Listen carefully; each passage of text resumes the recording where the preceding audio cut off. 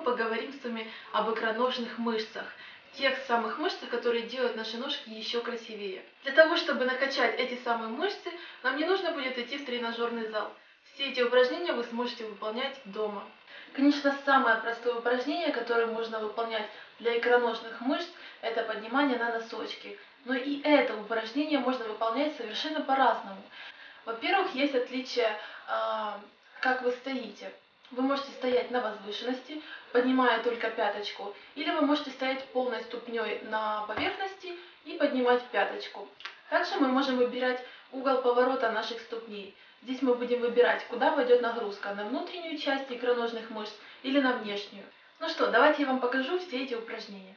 Стоя на горизонтальной поверхности, вы можете выполнять э, упражнения на двух ножках. Сначала просто с прямыми ступнями, потом поворачивая их в разные углы. Так будет перемещаться наша нагрузка на внешнюю поверхность э, икроножной мышцы и на внутреннюю.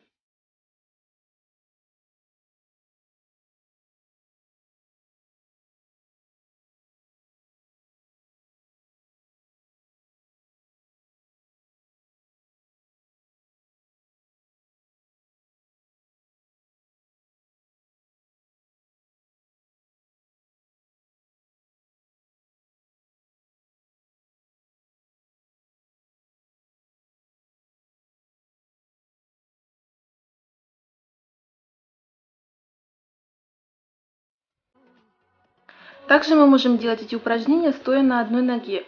Но здесь будьте внимательны, ваша нагрузка увеличится. Вы будете делать эти упражнения с собственным весом.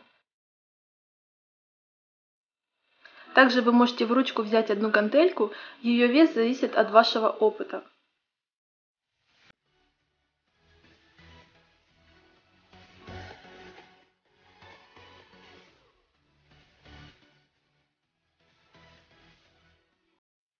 Также вы можете выполнять эти упражнения, стоя на любом пороге.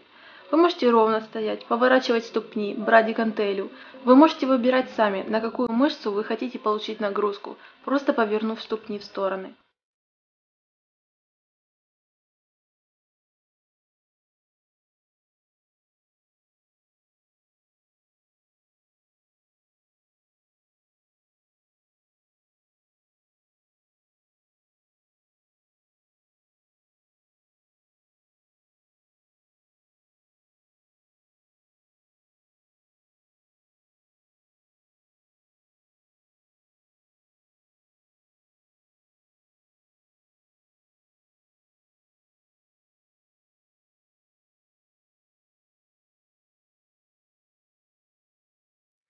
Вот наши основные упражнения для накачки наших икр.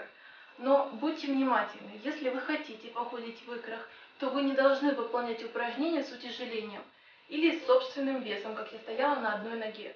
То есть, э, если у вас уже есть жировая прослойка, э, мышца будет качаться, если вы будете качать ее с помощью, с дополнительным весом, но она будет увеличиваться вместе с вашей жировой прослойкой. Поэтому мы делаем эти упражнения без дополнительного веса. Ну а если вы хотите накачать эти мышцы, то, конечно, уже нам помогают э, гантельки, и мы можем стоять на одной ножке и делать эти упражнения с нашим собственным весом. Эти упражнения вы можете добавлять в вашу основную тренировочку. Они не займут у вас больше 10-15 минут. Смотрите мои новые тренировочки на моем канале в YouTube. Всем удачи! Пока!